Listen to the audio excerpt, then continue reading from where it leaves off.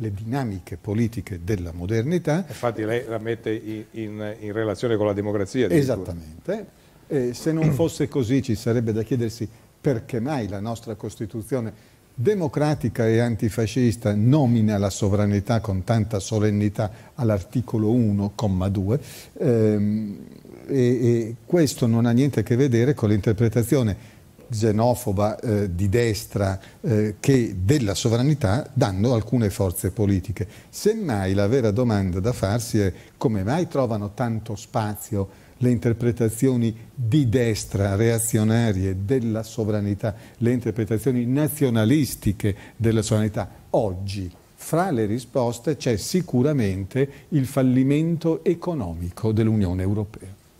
Questo è eh, assolutamente evidente, fasce amplissime di popolazioni dell'Europa occidentale e degli Stati Uniti, ma insomma stiamo parlando dell'Europa, ehm, hanno subito una crisi economica che è stata gestita malissimo in Europa, è stata gestita attraverso politiche di austerità che l'hanno aggravata, non c'è voluto molto perché si facesse 2 più 2 e si dicesse bene, eh, le, i nostri mali sono stati causati dall'euro, che è, la, come ha detto ieri tra l'altro Monti, eh, è ciò che dell'Europa funziona perché ricordiamoci, l'Europa non è sovrana, l'Europa è un ecco, insieme quando, non sovrano. Infatti Galli, quando lei parla di sovranità, non necessariamente parla della sovranità italiana, francese, tedesca, no.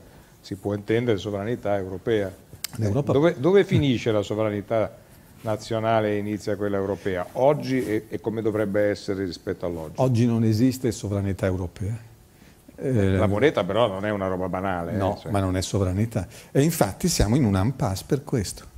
Perché abbiamo, un pezzo di sovranità. Appunto, abbiamo messo insieme una funzione sovrana, cioè la funzione di controllo della moneta, e abbiamo lasciato invece libere tutte le altre funzioni sovrane, fondamentali le funzioni della politica ehm, estera dei singoli Stati.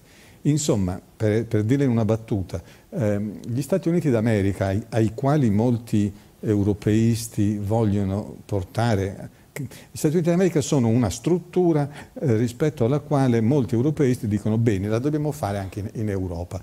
Eh, gli Stati Uniti d'America sono una unione federale sovrana di stati non sovrani.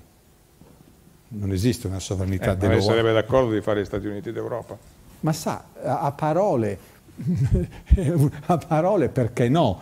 Il punto è eh, il punto è come Beh, si fa. se ci, ci dà un obiettivo non ce lo si vuol dare. Sì, è, è pensabile darsi no? quell'obiettivo? Ecco, diciamo che è fra le cose più improbabili che ci siano al giorno d'oggi. È improbabile.